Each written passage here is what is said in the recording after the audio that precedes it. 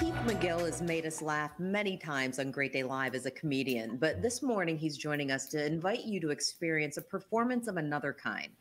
Touted as an interactive show that transports audiences to pivotal moments from the civil rights era, Nation in Crisis, an original Commonwealth Theater Center production, was written and directed by Keith to, in his words, bring history forward so we can learn about it and learn from it and learn how not to repeat it.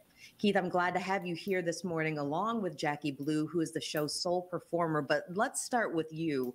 When did you write this and why, beyond what I've already quoted you as saying, why did you feel the need to write it?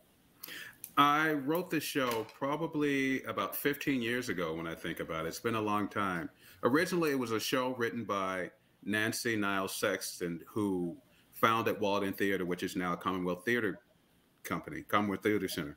And it was just about one facet of history. It's about the Tuskegee Airmen, and the students couldn't really relate. And I said, um, well, what history do you know about? And they would tell me about Rosa Parks. They would tell me about Emmett Till. They would tell me about um, segregation and separate water fountains and all of that. And I said, well, let's do a show so that students can understand this is what African American history was, and this is how people overcame it. That is stunning to me that you wrote this so long ago when, regardless of where people are in their life today, many people would say this is a nation in crisis. Why is it so important, though? Keith, I mean, you're making these virtual performances available. We'll get into the nitty gritty on how that happens, but why do you think it's important, especially today, for people to take part in what is going to be an interactive experience? It's so amazing to me how much of history is repeating itself. Um, for example, in the case of Emmett Till, uh, a young black man who was was murdered um, for being a black man. That still happens today. There's still discrimination, and and people need to be able to look at discrimination in history and realize, wait, it's repeating itself, so that it doesn't continue to repeat itself again. And hopefully, people can look at history and find its relevance now and understand what we can do differently. Jacqui, define your role in Nation in Crisis. Well, I'm the actor in Nation in Crisis. It is a one uh, one person show. This is uh, something I took over from Keith. He was doing it himself. And so when I came on board to perform it, we revamped it a little, made some of the characters female, and I also added music um, just because I'm a musician personally, and I really feel strongly that music has um, been the soundtrack to the African American experience, especially during civil rights in this country. So you'll see me performing um, a plethora, I think eight it is, different characters, ranging from a Tuskegee Airman to um, Mamie Till, Emmett Till's mother um, after his death, and Martin Luther King and Malcolm X in a debate um, style doing two of their speeches considering the things that we're watching and participating in depending you know on, on what it is that you're doing in this moment of history as we are making history as a country for better or worse what is that like as black individuals to not only be able to provide this interactive experience but to part partake in it really. I mean and jacqui as a performer to embody these characters and keith i mean mm-hmm. these are words that came from your hands. What is that like?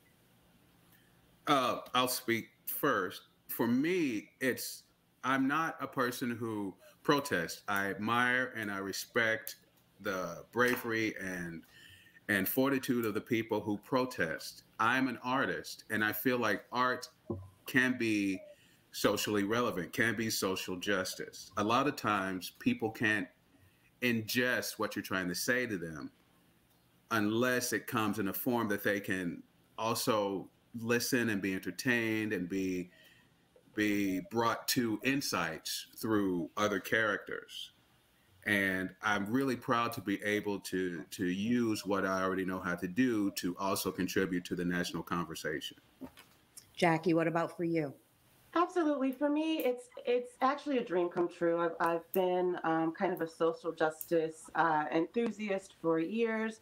And so to be able to segue from doing musicals and plays um, to doing something that is so relevant is um, number one, it, it, can get emotional at times, mm-hmm. especially when you're researching these characters and what they went through and embodying some of the painful um, experiences that they went through. Um, it, it, can get uh, overwhelming at times as an actor, but that's the kind of work that that really compels you and makes me feel personally fulfilled. And I just love the idea and the fact that I'm able to bring this content um, that ultimately uplifts my people to uh, to our community, to children in schools in our community, and and educate through it. I mean, I actually saw um, Keith on your Facebook page. I mean, this is rooted in reality, and that's where I saw the event and just went, I, I need to know more. I can only imagine the emotion that will not only be experienced, I mean, Jacqui, by you as performer and Keith, of course, but also by your audience. Let's talk for a moment about the interactive nature. There is going to be a Q&A after each of the performances. Keith, what can people expect from that? And also why? There have been a lot of virtual performances that don't have that opportunity for audiences to actually have a back and forth and engage. I really feel like watching this and watching these events people have questions. People want to express themselves. People want to have a discussion.